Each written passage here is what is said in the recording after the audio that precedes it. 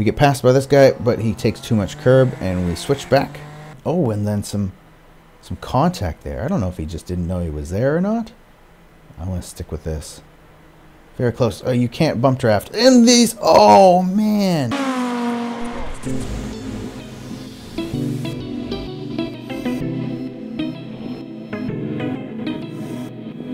Super Formula Lights is one of the best series in iRacing right now. It is so amazingly close and so respectful. All of the racing has been so good. I haven't had very many problems with it. Sometimes you're in iRacing and you don't feel very good about it.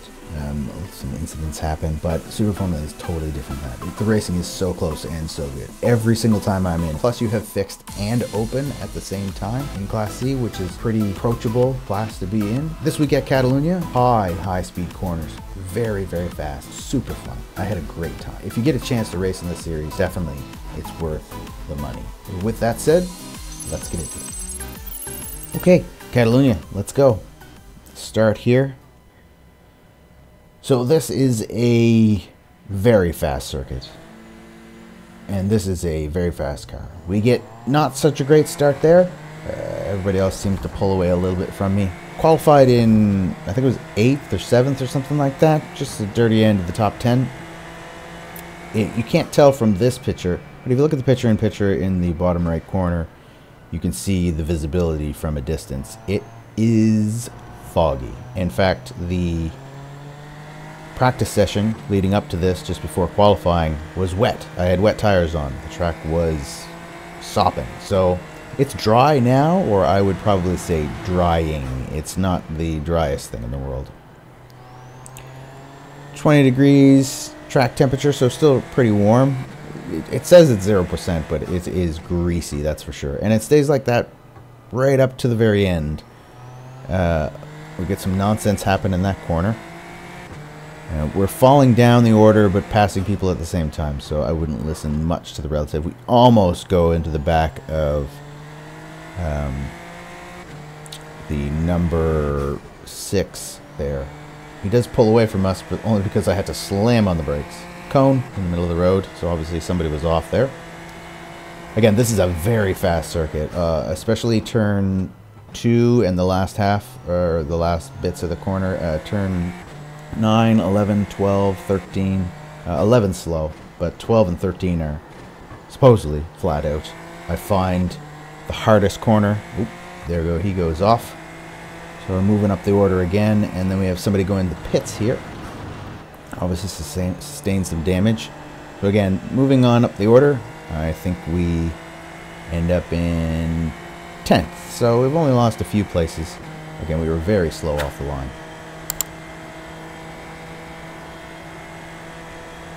Round in the first corner, braking out to the 100 mark.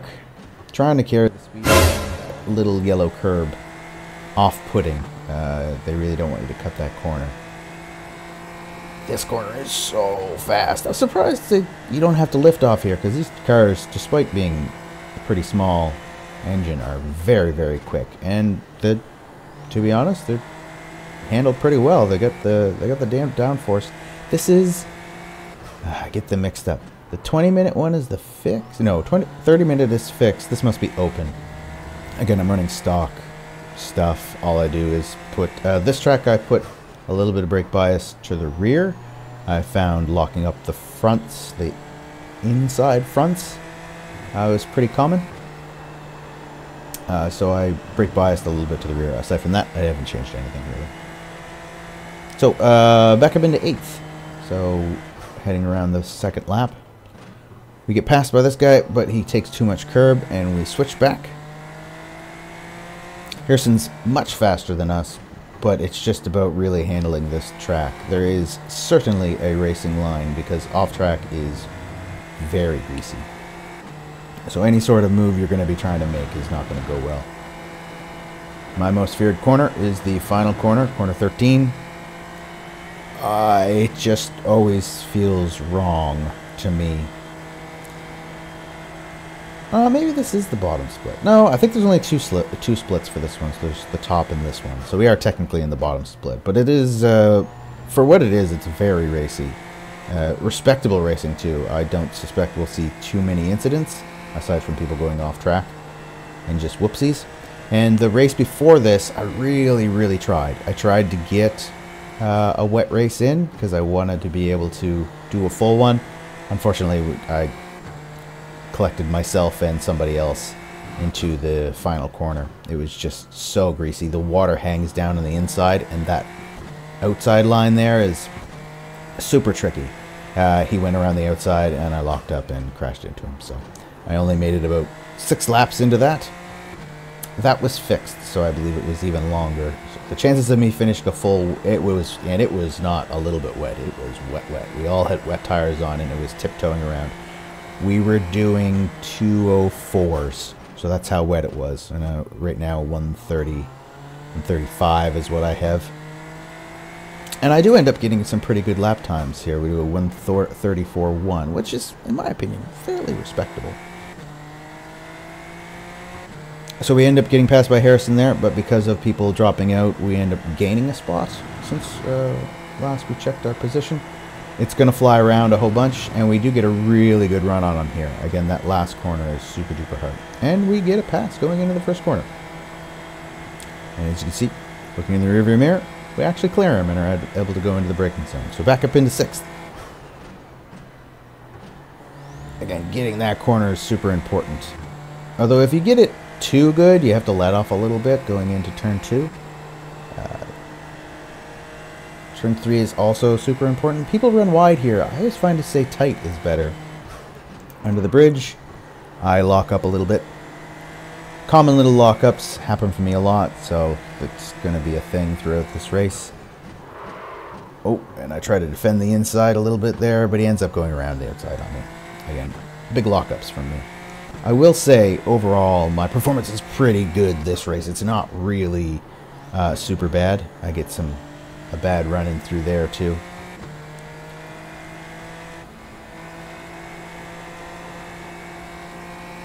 So as we're going around here, I believe we have the blue car behind us right now. I can't remember though. I don't get a rear view mirror in the replays. You guys will get one because I record one, but yeah, it should be a blue and white-ish car. So uh, us, the two black cars and the blue car, we're all going to be mixed together through the rest of the race. Uh, we end up, we're faster than some, slower than others, and, and, there's quite a few mistakes that still end up happening. So overall, in sixth, gained a position, or stayed in sixth despite being passed. Uh, people in the front uh, keep going off. Not anything major. Harrison is passing for fourth, uh, for between fourth and fifth up there, battling out with the black cars. Again, super important to get this corner good. I find my lap is a totally different lap. I talked about cascading a few videos about, uh, ago, and that's kind of what this is. One mistake will cascade into another, but on the opposite side of that, uh, doing well in a corner will cascade. So your lap will become faster throughout all of it, despite, uh, or not despite, because of your uh, your good corners early in the lap.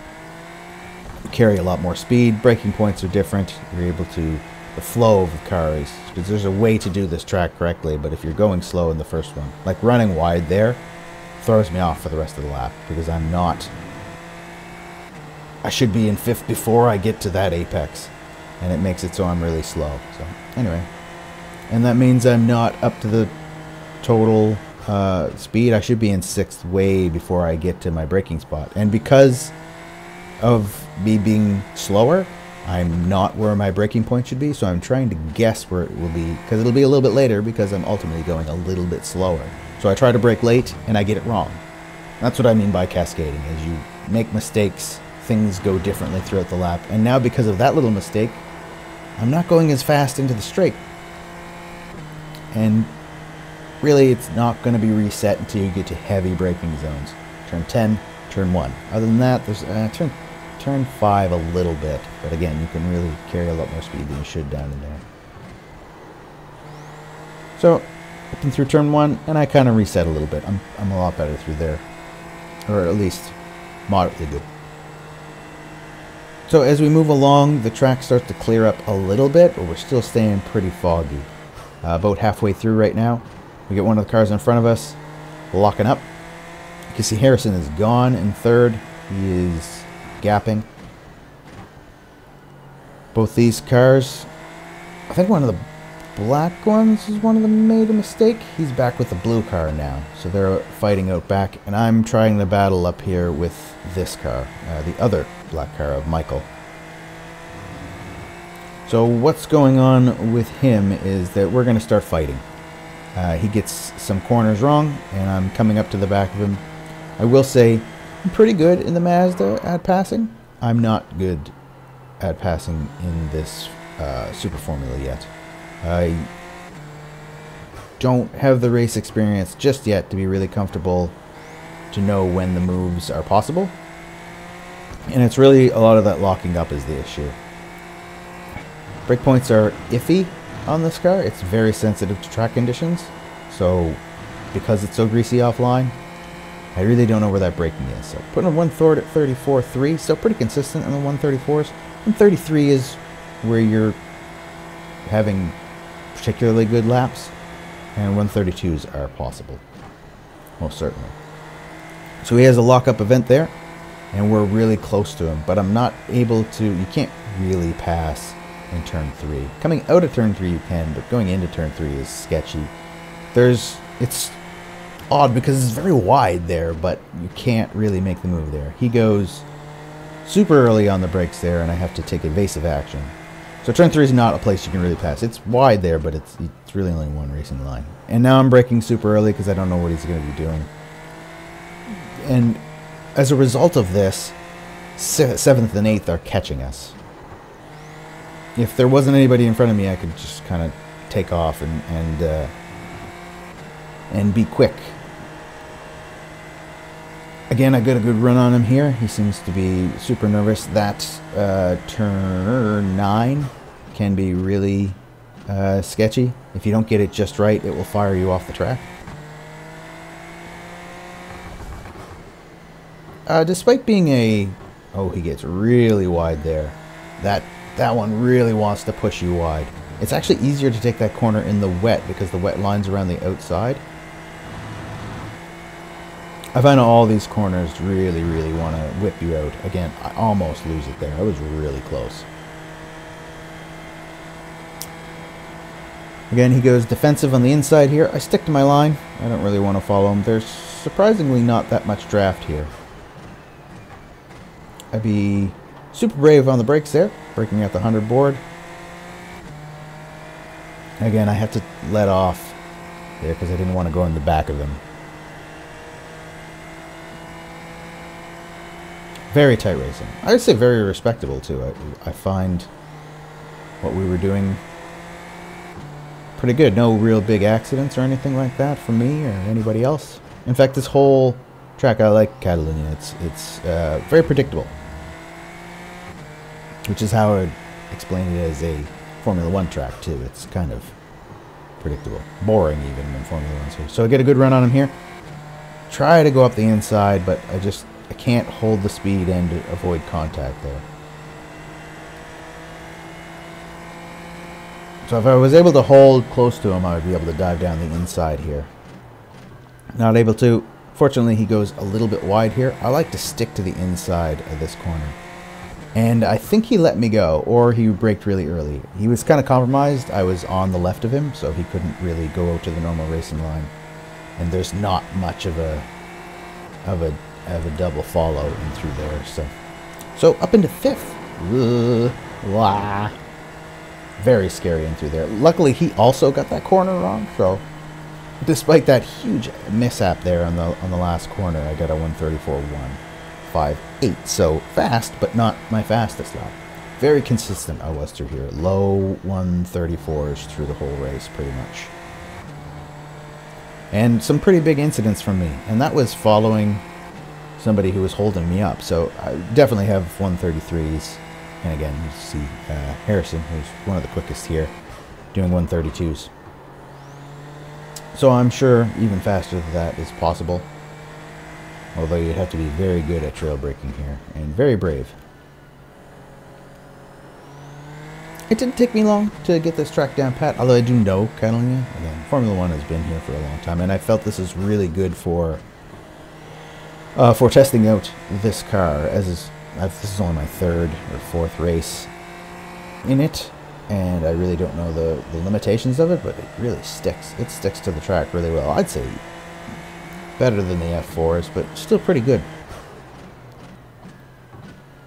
Tight on the line. Tight, tight, tight. I like to stay tight in here. Other people run wide and, and swoop in. I don't know. I like the tight corner. I like to be able to straighten the car up.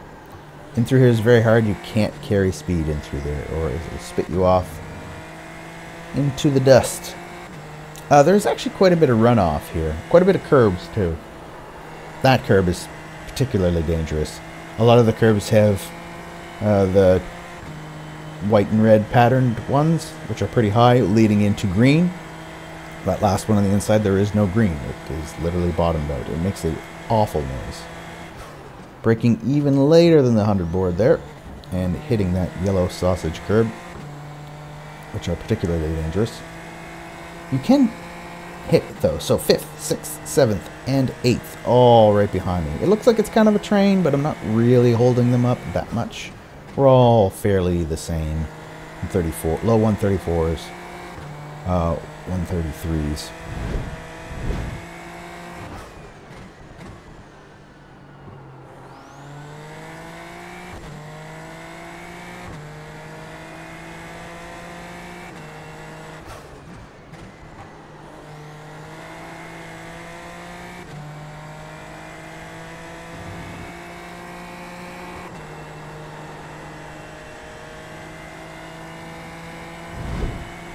If I would have to put a word to Catalunya, each track for me does two things. The stories inside of the race and kind of the theme of the track.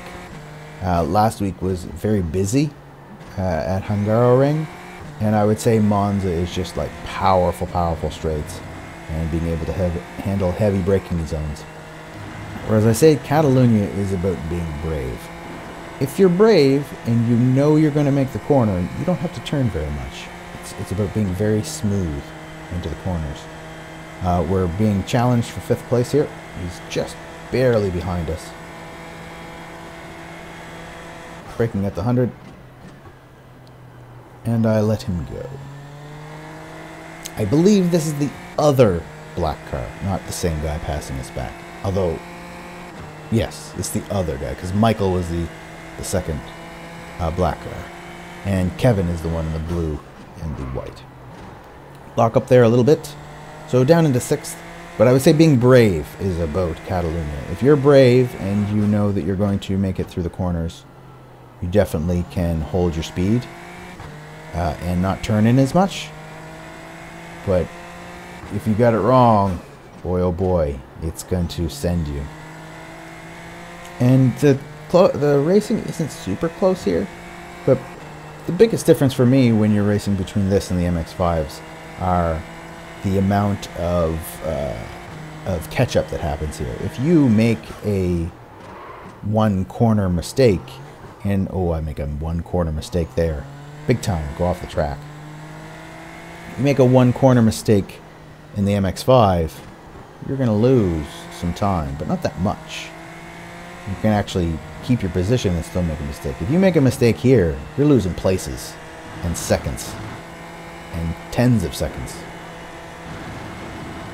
Whereas in some of the slower series, one little mistake in a corner isn't that much. So because of my last mistake last corner, we have Kevin all over the back of us. I find the last corner, again, it's always the last corner for me, is really, I try to be super brave on the brakes here, but he ends up being on the outside of me can't make a move around the outside there, so I end up keeping the position. The outside becomes the inside, becomes a compromised heavy speed turn, so not the best thing to do there. Uh, because the last corner is so compromised for me, I'm, I'm really, it's about being brave, and I'm not brave. Uh, my straight is not really that good. And that's kind of where a lot of the speed comes down here. It's one of the few there's quite a few places to pass here, but not good places. Uh, I would say you have to be really argy-bargy. Despite being a wide, smooth, very easy transition track, there's not a lot of overtaking. And that is true for Formula 1 too. Not a lot of overtaking here happens here at Catalunya. It's mostly waiting for other people to make mistakes. Because it is such high-speed corners, tiny mistakes tend to be big mistakes, so it can happen. I'd be interested to be around here in a Formula One car to see how fast you can actually go in some of these corners. I get that corner right that time, flat out.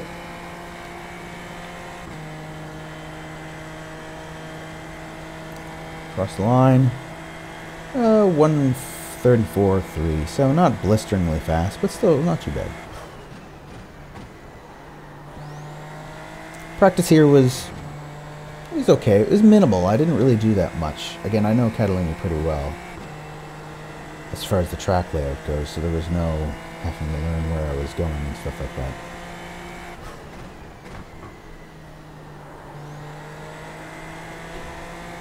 I'm not sure if staying on the inside of that corner is faster or letting it run wide. Everybody else lets it run wide, but uh, we're not in upper splits here, so I don't really know if technique is something I should be learning from other people at this point.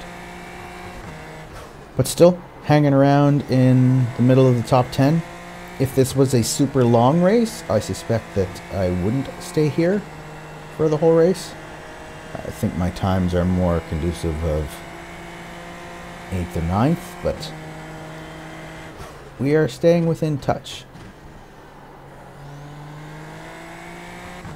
I'm feeling, definitely feeling the pressure at this point though.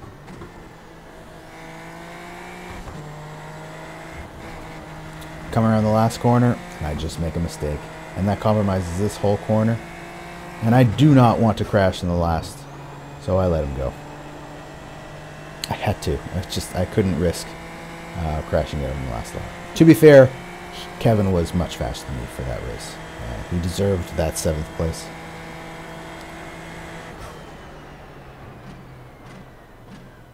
Or that sixth. Sorry, came seventh.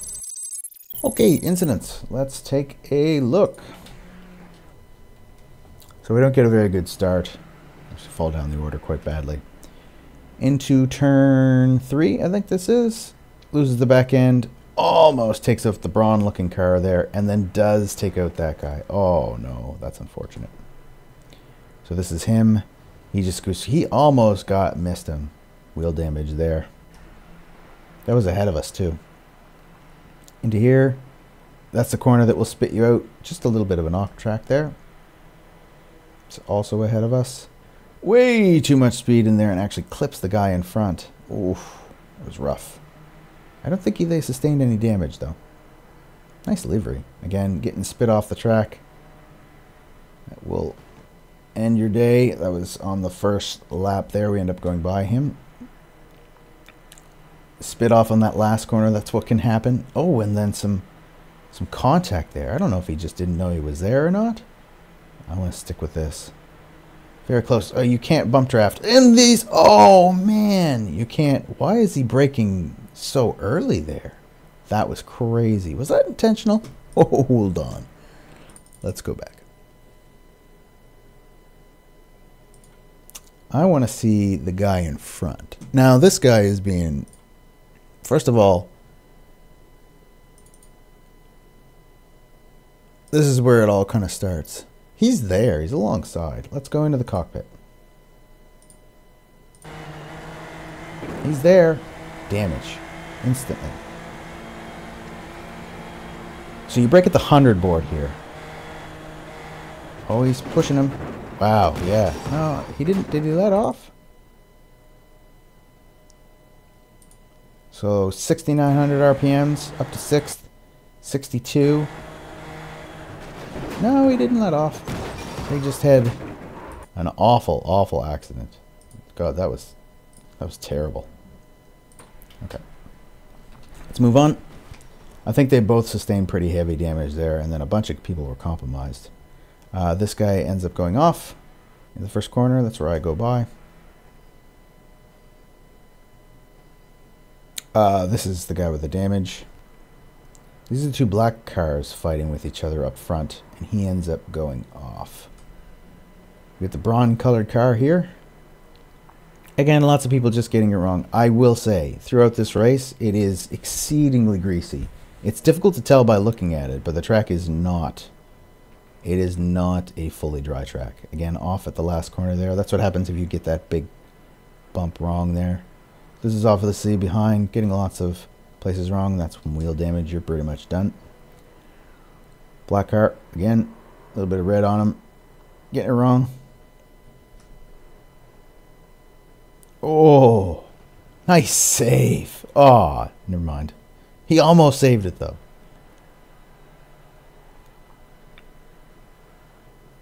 Hmm, that wasn't that big of a deal. Oh, that's it. Wow, that wasn't that bad after all. So, not so bad. Uh, we only had that one real big incident down the main straight, which was kind of questionable in my mind. Okay, let's take a look at results. I've hidden my fat head so we don't have to look at it. So we were actually in the bottom split. There were three splits. My bad. Sorry. Uh, let's take a look. So average lap time from the fastest driver was 133.9 with a fast lap of 132. Let's take a look at the middle split, which was eh, not that far off. And then the fastest one, 131s. Average lap time, average, average lap time 131, and then below him, kind of average 132. So about a second, maybe a second and a half faster. So really, not that much slower. There's not a lot of time to be gained there. I was putting in like, yeah, probably like two seconds slower. So yeah, I guess there is a bit there. So strength of field of this particular race that we were in was 1033, a bit higher than what I am. Again, when the road and open wheel was split up, I was at a I was at a bad place. I don't want to talk about it. So we ended up getting double green, safety rating of 0.16, and an iRating change of 52. Ended up finishing in seventh place with only two incident points. Full laps completed. Uh, completed. Best lap was lap 10. We were 27, 20, yeah, 27 seconds off the pace, but really close to Kevin ahead of us, who I think was probably overall a faster drive than us. Yeah, 133.5. So, biggest loser here. Yeah, last place, Ray, but the second last place, pretty close as well. Those guys went off very early. And then, biggest winner, Poo, poo, poo. 55, 50, 61, 87. Third place from Mark. Harrison, who was that quick guy in the white and blue, ended up finishing in second place with the fastest lap. So he was quite good. He's from the Midwest. No incident points. So, quite interesting. Great course. Love Catalonia. And this series, by far, out of the three that I'm doing, the MX5 GT4s and uh, this Super Formula Lights, it was a fixed race. Oh, my bad. Um, this is by far my favorite. The racing is so tight, and these cars are so much fun. Anyway, thanks for uh, tuning in. Hope to see you guys next time.